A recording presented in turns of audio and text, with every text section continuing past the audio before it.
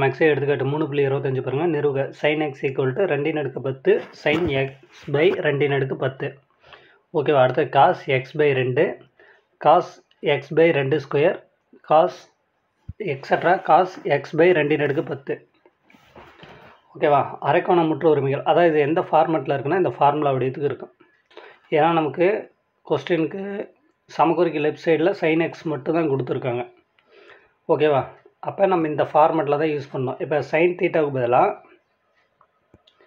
Sine x அப்படின்னு apply பண்ணோம்னா தீட்டாவுக்கு பதிலாக எக்ஸ்ன்னு அப்ளை பண்ணுறேன் ரெண்டு sine x by two cos x by two ஓகேவா இப்போ இந்த அரைக்கோண சைன் சூத்திரம் ரிப்பீட்டடாக யூஸ் பண்ணிட்டே போனோமா இது கன்யூ ஆகிட்டு போகும். இதில் என்ன கான்செப்ட் அப்படின்னா இந்த கொஸ்டினை பொறுத்த வரைக்கும் இப்போ சைனுக்கு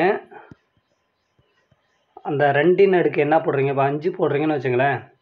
காஸ்க்கு எப்படி எழுதுனா காஸ் எக்ஸ் பை ரெண்டின் அடுக்கு ஒன்று காஸ் எக்ஸ் பை ரெண்டின் அடுக்கு ரெண்டு காஸ் எக்ஸ் பை ரெண்டின் அடுக்கு மூணு காஸ் எக்ஸ் பை ரெண்டின் அடுக்கு நாலு காஸ் எக்ஸ் பை ரெண்டின் அடுக்கு அஞ்சு. இப்படி எழுதணும்.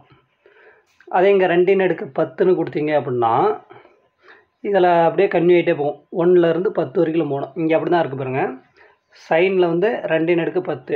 காசில் வந்து ரெண்டின் அடுக்கு ஒன்று ரெண்டின் அடுக்கு ரெண்டு எக்ஸட்ரா ரெண்டின் அடுக்கு பத்து வரைக்கும் போகுது. ஓகேவா அது டைரெக்டாக நம்ம போட்டுக்கிறோம். எடுத்த உடனே ஒரு ஸ்டெப்பு அடுத்தது ஸ்கொயர் யூஸ் பண்ணி பாருங்கள் ரெண்டின் அடுக்கு ரெண்டு. அப்போ எப்படி வரும்? சைன் எக்ஸ் பை ரெண்டின் அடுக்கு ரெண்டு. காசு எக்ஸுக்கு எப்படி வரும்? காஸ் எக்ஸ் பை ரெண்டு காஸ் எக்ஸ் பை ரெண்டின் அடுக்கு ரெண்டு. அதான் இங்கே ரெண்டின் அடுக்கு ஒன்று ரெண்டின் அடுக்கு ரெண்டு போகிற கான்செப்டில் இருக்குது அரைக்கோண சைன் சூத்திரத்தை ம மீண்டும் மீண்டும் நம்ம பயன்படுத்திகிட்டே போனோம் அப்படின்னா நமக்கு அந்த காஸ் வேல்யூ மட்டும் இன்க்ரீஸ் ஆகிட்டே போகும். அதை அடுக்கு அதிகம் பண்ணிகிட்டே போனோம்னா.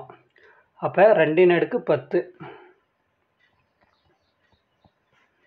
ரெண்டின் அடுக்கு பத்துனா சைன் எக்ஸ் பை ரெண்டின் அடுக்கு பத்து காஸ் எக்ஸ் பை ரெண்டின் அடுக்கு ஒன்று ஒன்று அடுக்கில் போடுறதால காஸ் எக்ஸ் பை ரெண்டு ஸ்கொயர் எக்ஸட்ரா ப்ராக்கெட் போட்டு காமிச்சிங்க. காஸ் எக்ஸ் பை ரெண்டின் அடுக்கு பத்து.